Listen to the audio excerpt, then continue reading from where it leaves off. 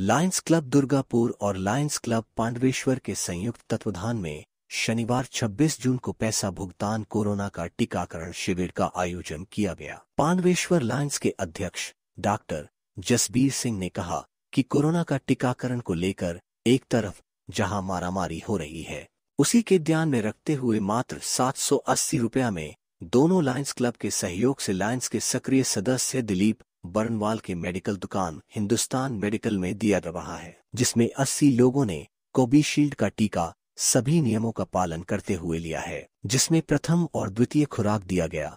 दो जसबीर सिंह ने बताया कि लायंस क्लब पांडवेश्वर भी अपनी सामाजिक दायित्वों को बखूबी से निभा रही है। हम लोगों ने सरकार से मुफ़्त में कोरोना की टीका उपलब्ध कराने के लिए मांग किया है, ताकि दूर दराज इलाकों में गरीब कमज़ोर लोगों को कैंप लगाकर कोरोना का टीकाकरण किया जा सके। इस अवसर पर लायंस क्लब पांडवेश्वर के सुजीत मजमुदार टीके राय समेत अन्य सदस्य उपस्थित थे।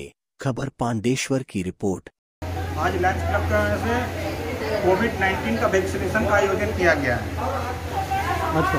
ये लायंस क्लब पांडेश्वर हाँ। लायंस क्लब दुर्गापुर मिल के इसको दे रहा है। यहाँ पर उद्योग लिया है हिंदुस्तान मेडिकल जो है उसके दिलीप। बर्नवाल। अच्छा। उसके उद्योग से ये आज यहाँ पर किया जा रहा है। पांडेश्वर सब इंतज़ाम अच्छे से किया गया टोटल सैनिटाइजेशन किया जा रहा है। उसके बाद ही पेशेंट को अंदर लिया जा रहा है उसके बाद वैक्सीनेशन देकर उनको आधा घंटा के यहाँ वेट करा के तब छोड़ा जा रहा है। ओके आपका नाम? Doctor Jasvir Singh president Lions Club Pandeshwar central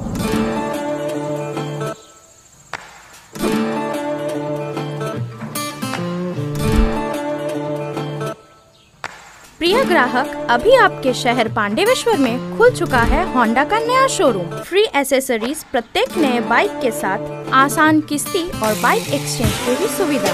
ये सारे आकर्षक ऑफ़र के लिए अभी संपर्क कीजिए Shahi automobiles extension counter area मोड़ गीता लॉज बिल्डिंग पांडेवेश्वर